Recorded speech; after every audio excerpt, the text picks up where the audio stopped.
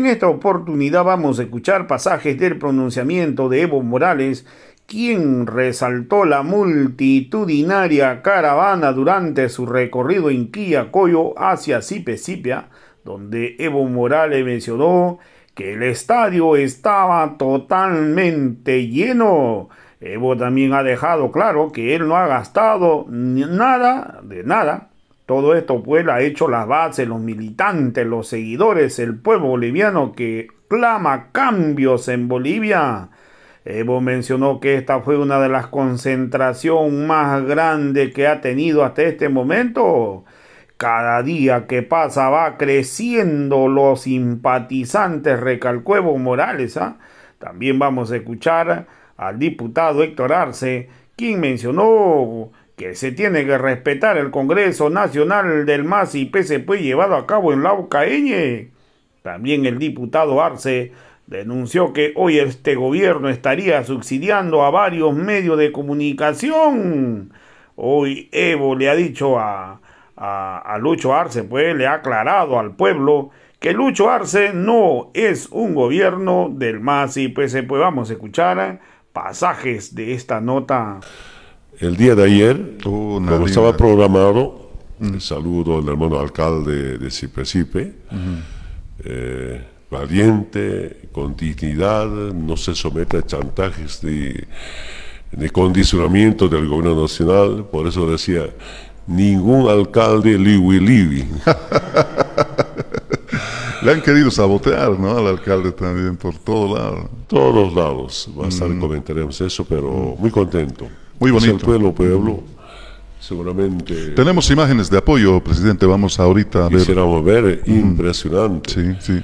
Eh, yo tenía en la mañanita una reunión con las compañeras Bartolinas de La Paz, ex dirigentes, ex ejecutivas, tanto departamental como también nacional exdiputadas, constituyentes, unos 20, 25 compañeros vinieron, comentamos, no alcanzaba tiempo, nos hemos ido allá y una caravana impresionante. Ahí está la caravana, hace un momentito veíamos la caravana, sí. Vamos a ver la caravana desde el comienzo, fue muy bonita la caravana, ¿no? ¿Cómo habrá organizado? Ahí está. Eh, carros hasta de lujo. Yo creo, alguna gente de la ciudad se suman automáticamente a la caravana. Cuando veníamos en caravana, es como la selección boliviana de fútbol iba a batir gol. Cuando la selección boliviana de fútbol mete el gol, se sale con bocina a ver, todo el mundo, como el 94. Igualito sentí en la calle cuando veníamos desde de Quillacoyo rumbo hacia Cipe, Hay un grupo de mototaxistas bien uniformados con sus banderas. He visto una chorita simpática con su moto, su bandera, su pasajero varón. ¿Ah, sí? no, no creo que piense mal, usted mal pensado. ¿no? y llegamos al estadio, mm. ese estadio, según el alcalde, entra como 7 mil, llenito, llenito, y abajo yo calculo mínimamente unos 15.000 compañeros concentrados. Fácilmente. De un municipio pequeño. El municipio Cipe tiene, creo, cinco concejales.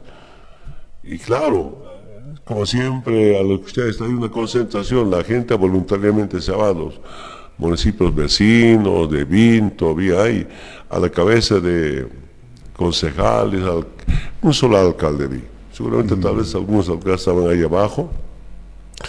Nos acompañaron también diputados, senadores de, La Paz, de Potosí, de otros departamentos, pero todos quedaron impresionados. Mira, quiero decir, Evo no gastó ni un peso. El pueblo se organiza, se moviliza y nos proclama. De verdad, esta es la concentración más grande de este año, pero también comparados al año pasado. Sí, ¿no? ¿Ah? es impresionante. Año pasado había en Warnes, saludamos a Mario oh, increíble Warnes, Habría unos 5.000, 6.000, 7.000, un coliseo. Mm, llenito, ¿no? Otro coliseo en torno, llenito, llenito, llenito. Habría unos 6.000, 7.000. Pero va creciendo, tan espontáneamente, tan voluntariamente, con mucho compromiso. Aquí estamos, los verdaderos militantes del mensaje. Pero también aprovecho esta oportunidad, tal vez Héctor va a comentar, un día antes tenía una reunión con nuestros senadores, diputadas, diputados, asambleístas, como primera tarea. La tarea, tarea número uno es Evo presidente.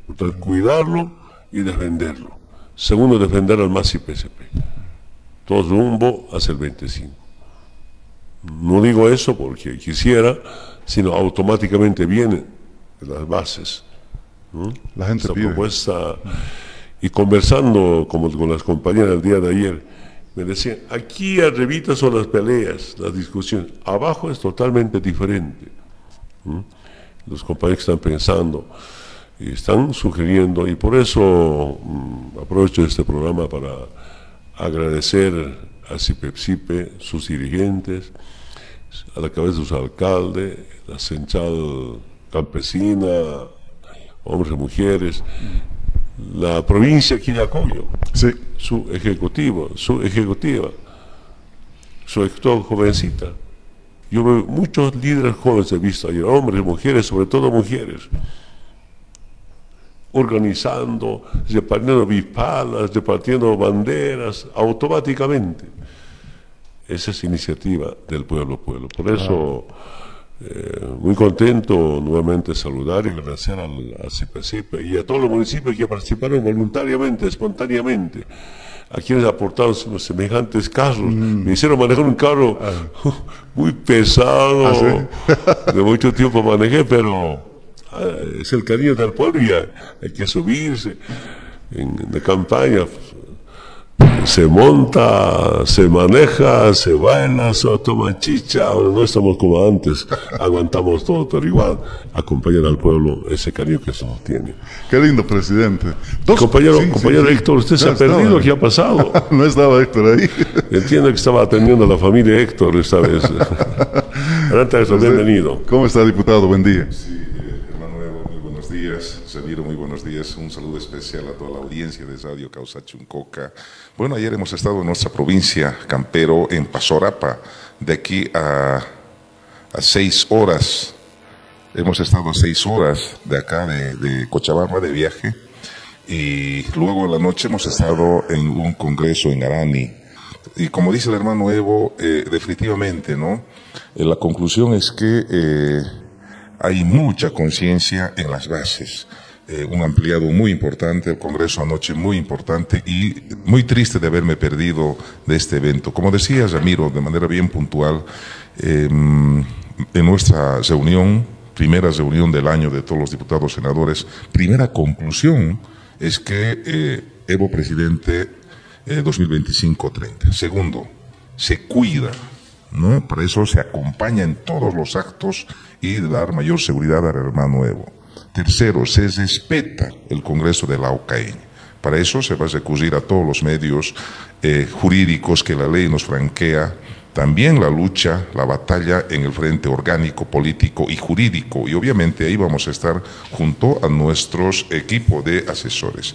En esta oportunidad, Ramiro, coordiné con el hermano Evo para este programa del día de hoy de manera bien puntual sobre cómo el gobierno, ¿no? Somete, ¿no? subordina a los medios de comunicación.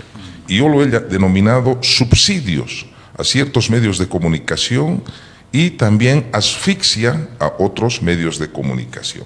Entonces, en ese sentido, la primera denuncia que hicimos, eh, Ramiro, causó mucha indignación en el pueblo boliviano, ¿no? No, la primera denuncia que hicimos fue sobre el vocero oficial de este gobierno, Jorge Zichter, ¿no? Su hija trabajaba en un medio de comunicación, y lo vamos a decir con nombre y apellido porque no tenemos nada que ocultar, su hija Valentina Zichter trabajaba en un medio de comunicación eh, vecinal, ¿no? que se llama TV Off. Eh, y, y a partir de donde llega su hija, ¿sabe cuánto recibe este medio de comunicación?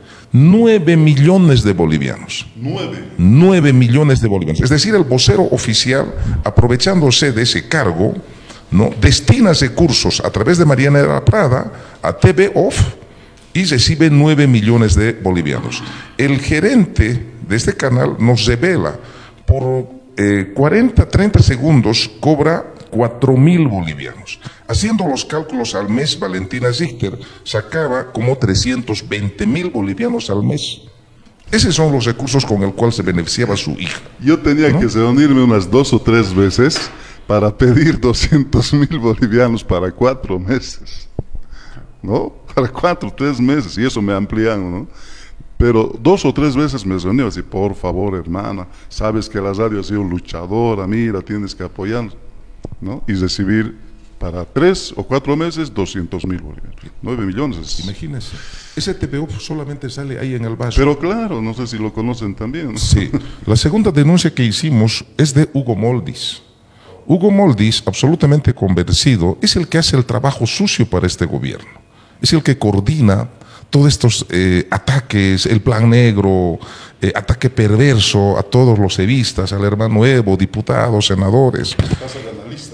Además, ¿no? Era, el referente. Ahora Jorge Zichter ha intentado limpiar, lavar la cara, el rostro de su familia, no ha podido.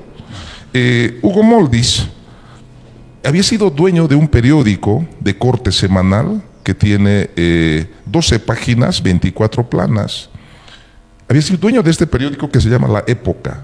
Yamiro y querido pueblo de Bolivia, este periódico nadie compra, nadie.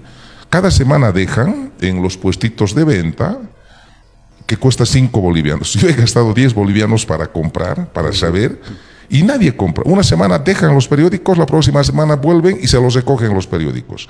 ¿Sabe cuánto ha recibido este sujeto? ¿no? ¿Sabe? Este sinvergüenza, porque las cosas hay que decir como son. Primero tiene a su hijo trabajando en la embajada de Rusia, que gana más de 8 mil dólares cada mes, a su hijo, ¿no? Y se beneficia con 2 millones 206 mil bolivianos.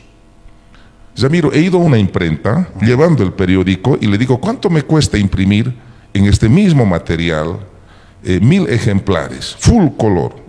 Mil ejemplares, me dice, te va a costar 3.800 bolivianos. Imagínese si eso, aunque eso pueda imprimir, si eso multiplicas por 12, 3 por 4, 12, estamos hablando de 12 mil bolivianos, ¿sí? Entonces es, es, nada lo que gastaban en la impresión. Pero este señor, Hugo Moldis, se beneficiaba, se beneficia con más de 2 millones 200 mil. ¿Quién les daba esa plata? Nuevamente, yo los he denominado las despilfazadoras. Marianela Prada, Gabriela Alcón. ¿Ese dato es de un año? El, los dos Esto es de dos años. De dos años. De dos, años. 200 mil. Sí. ¿No? Pero terrible, ¿no? una forma también de someter a los medios de comunicación, ¿no? Yo decía, ¿qué pasa? Qué raro, decía yo. Cuando les revisamos los contratos en el SICOES, porque es público, Ramiro, conozco ese tema. es público. Exacto, conozco muy bien. Entonces hemos revisado el SICOES. No me vas a creer, eh, Ramiro, en un año y 13 meses, Junior Arias se benefició con más de 19 millones de bolivianos. 19 millones de bolivianos para atacar día y noche en todos sus programas. Entonces yo dije, ah, bueno, ahora entiendo, ahora entiendo. Entonces ataca a Evo Morales y en su programa, lucha, lucha, lucha, ¿no? Día y noche gritando. Entonces así se compra la conciencia de un periodista. Tercero, para ya ir cerrando, ya, está bien. A su hijo había sobornado, pero también a su padre. De Junior Arias, ¿no? Jorge Arias, en casi tres años había beneficiado con 25 millones de bolivianos. Increíble. Ramiro, ¿qué es lo que indigna? 45 millones de bolivianos han ido a parar en el bolsillo de una familia. Padre Jorge Arias, hijo Junior Arias, ¿no? 45 millones de bolivianos. Haciendo una suma total de estos solo cuatro medios de comunicación, Ramiro, 56 millones de bolivianos se ha gastado, ¿no? Marianela Prada, Gabriela Alcón, las dos, las dos eh, despilfazadoras de la plata del pueblo boliviano, con eso podíamos haber construido 510 aulas, Zamiro. Hoy tenemos niños en el país pasando en iglesias, en sedes sindicales, en casas alquiladas. o en el domingo en la tarde del, del, Ministerio de la Presidencia convoca a los jefes de prensa a los medios privados. Esta es la línea, este quieren difundir. Ellos mismos nos informan. Cuando yo digo, yo no busco información, la información, las denuncias sobre esta clase de manipulación a la prensa, como también sobre la, sobre la corrupción, nos buscan. Y tenemos la obligación de denunciar. Esa es una de las responsabilidades que tenemos. Eh, yo me acuerdo cuando tenía un acto en Palca, arriba, sí, sacaba yo ni cualquier cosa inventó para acusar a nuestra hermana primitiva Barachi. Que digo, tan bajo, yo no sé si es periodista, claro, entiendo perfectamente, es un vocero del gobierno por plata. Ahora, el mono baila por la plata, o el mono baila como, es como por plata, no, dinero. Con semejante dinero. Entonces, ¿quién, ¿quién no va a defender, pues, si, si no? Pero tarde o temprano tiene que ser investigado. Porque de noche a la mañana una, se monta una canal, se instala una canal, ¿con qué plata? ¿De dónde viene? ¿No? Qué bueno sería que levanten su secreto bancario. Mm, al privado no creo, mm. pero sí fundamentalmente eh, los servidores públicos y hasta ahora que sepa, ninguno levanta su, secreto bancario. Yo cuando estaba de presidente instruido, levanta su bancario. Primero a la cabeza de Evo y Álvaro. No tengo nada que ocultar. Todo es transparente. Entonces, hay negocios muy sucios de parte de los voceros del gobierno. Y hablando de algunos ministros, creo que la reunión de las seis federaciones con mucha altura dijeron, presidente cambia a estos ministros para que buena gestión. Y no escucha nada. salvamos nuestra responsabilidad para que un día nos juzgue la patria o las nuevas generaciones. Y hasta ahí tenemos límites como, como, como militantes, pero no. Es un gobierno ajeno a la más IPCP. Bueno, igual, igual. Si fuera gobierno de otro partido, podemos sugerir porque si le va bien al gobierno, va bien a, toda Bolivia. Ese es nuestro deseo, siempre será esa nuestra tarea. No sé si algo más, Héctor, si sé que tienes que viajar nuevamente, no quiero perjudicar su trabajo, te felicito tu trabajo, su visita por aquí, por allá. Um, sabía que tenías congresos, la gente, las bases que, que visitemos, informemos. Cuando informamos, informamos, están contentos hay que llegar a las bases, aunque para hacernos reír, eh, lo peor es escaparse, como algunos no quieren llegar, se escapan. Mi recomendación a otros electas especialmente, cómo llegar a las bases para tener, dar mayor información. Sí, hermano Evo, bueno, el pueblo boliviano nos ha elegido para hacer dos cosas y por eso nos paga, yo lo he dicho varias veces, es público. Nosotros como diputados ganamos como 20 mil bolivianos al mes para hacer dos cosas, para aprobar eh, leyes en beneficio del pueblo boliviano, ¿no? Segundo, para fiscalizar. Para eso ganamos como 20 mil bolivianos. Y ese trabajo estamos haciendo. Yo creo que otro programa, hermano Evo, es hablar sobre los créditos. Con este año más estamos hablando de 6.600 millones de dólares que prácticamente nos estamos endeudando. La duda es en qué y cómo se está gastando esa plata, esa es la gran duda. Segundo, hermano Evo, eh, yo he llegado a una conclusión, ¿no? Y felicito a estos alcaldes valientes, como, se, como decimos nosotros, Kaigunaga Caris, en quechua decimos Caris.